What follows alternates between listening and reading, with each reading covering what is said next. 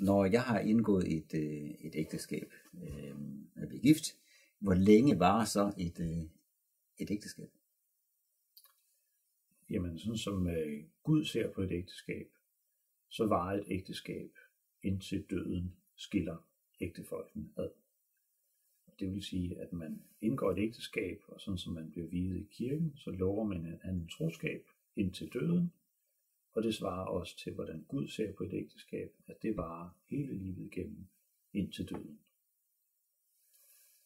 Øh, og det er sådan, vi skal indgå ægteskabet.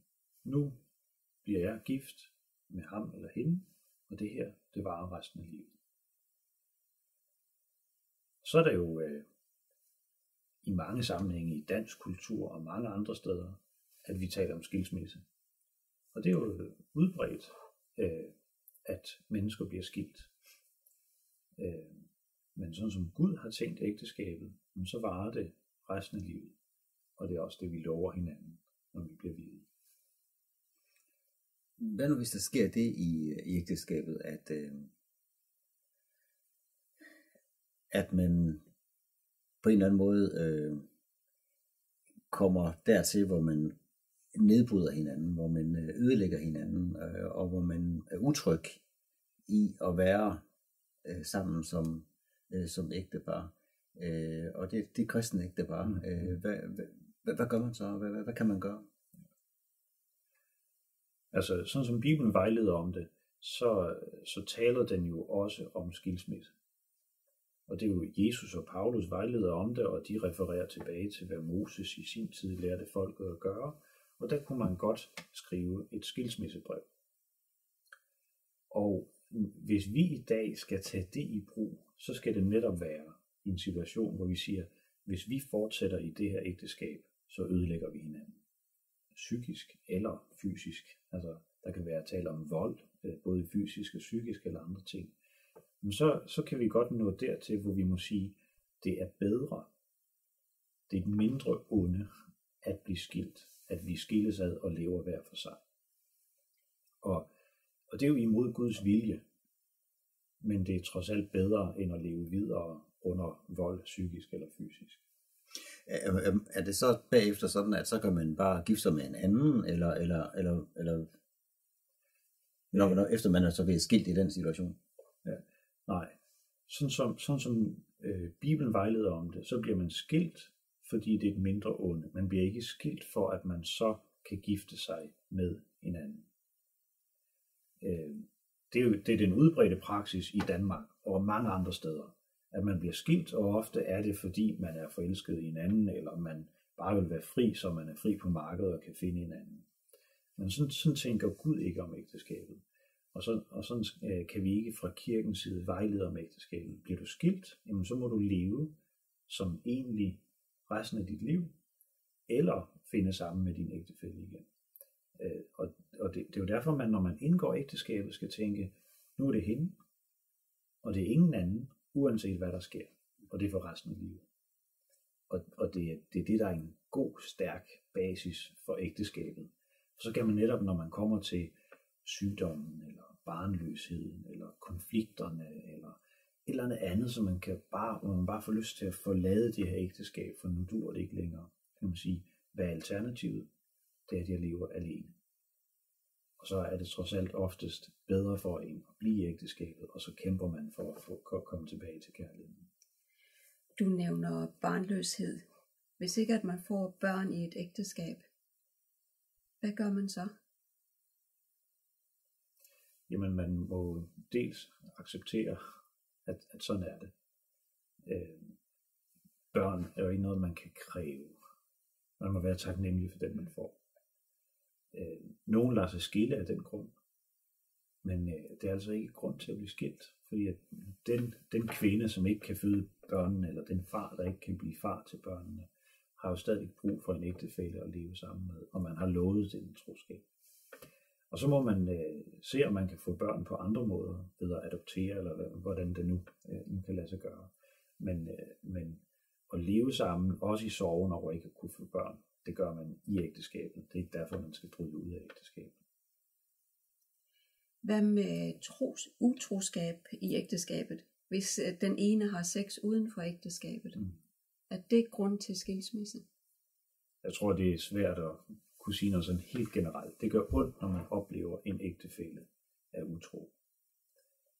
Og det er, det er hårdt at skulle pålægge den, der står tilbage og er blevet snydt, og sige, nu skal du tilgive, nu skal I få det til at fungere igen. Men det må altid være målet. Øh, det kan godt komme dertil, hvor man har ødelagt så meget af ægteskabet, så man ikke kan få det til at fungere. Og så må man leve hver for sig. Men ikke for at finde hinanden. Eller ikke for at leve videre med den, man var utro sammen med. Det, det åbner Gud på ingen måde op for i sin vejledning i Bibelen. Der må man finde sammen med den, man er gift med, og det er det, der er målet, og det er det, man skal kæmpe for. Øh, og så er der nogle gange, at det kan lade sig gøre, og det må vi glæde os over. I mange kulturer er det jo almindeligt, at man øh, lader sig skille, hvis man ikke kan få børn. Mm. Øh, og ligesom det i Danmark er almindeligt, at man lader sig skille, øh, fordi man nu synes, man har lyst til det, eller Mm. fordi man synes, man er blevet forelsket i en anden, eller noget andet. Øh, og, og om tanken, nogen, nogen kan også tænke, jamen det kan jeg også gøre som kristen.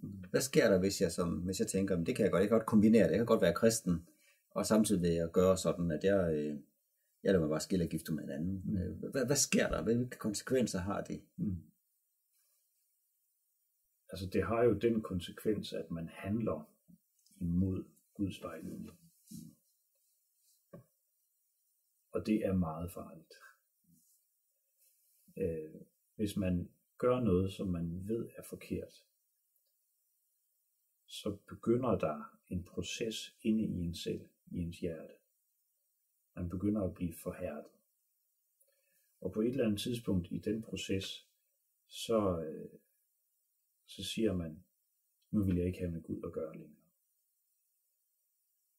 Gud han er en, der altid står og inviterer og vil tilgive en, når man kommer og beder om tilgivelse. Og det skal man, det skal man vide, uanset har man været utro med hinanden, eller er man, har man gjort et eller andet andet, som er imod Guds øh, vilje, så kan man bede ham om tilgivelse. Men gør vi det bevidst, og lever vi i noget, der er imod Guds vejledning, så begynder den der forhærdelsesproces. Og så kommer der altså et tidspunkt i vores liv, hvor vi ikke kommer tilbage til Gud og beder om tilgivelse og gør op med vores synd. Så siger vi i stedet for farvel og tak til Gud, og så går vi evigt fortabt. Mm. Derfor er det så farligt at leve imod Guds vilje. Det forandrer os indefra, det forhærder os indefra. Kan det være vigtigt også at snakke med, med andre ægteskaber, andre, andre, der er i lever sammen, og om de udfordringer, der er? Mm. Ja, altså helt afgjort. Og jeg tror, erfaringen blandt mange ægtepar, det er øh, næsten jo mere jo bedre, men i hvert fald, vi får ofte for sent talt med andre, eller søgt hjælp. Altså, man, kan gå i det her ægteskab og tale med hinanden og gnide op af hinanden og komme i konflikt, og man synes ikke rigtigt, man vil søge hjælp fra andre, eller, eller få nogen til at hjælpe en med at løse det. Men øh, Hvad- det, det er godt. Hvad kan være grunden til, at man ikke søger den hjælp?